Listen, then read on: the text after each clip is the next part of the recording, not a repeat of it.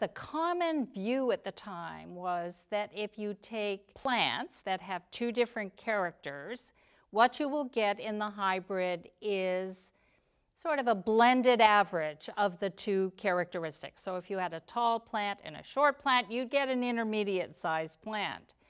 That is not what Mendel observed. He observed instead that all of the plants in the hybrid cross were actually tall.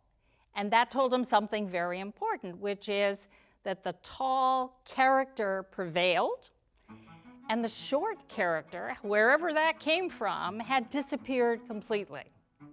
And so the question that Mendel might have asked at that point is whether the character that determines shortness in a plant had completely disappeared. So he did the next really critical experiment, which is he allowed those tall plants to self-fertilize themselves. And he asked, what do the seeds look like from the progeny of that cross?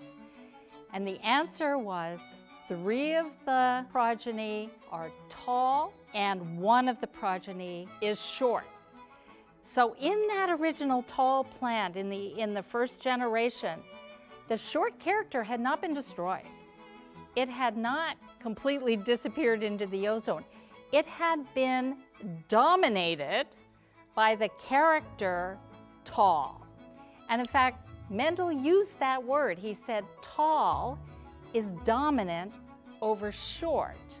And the word he used to describe short is recessive.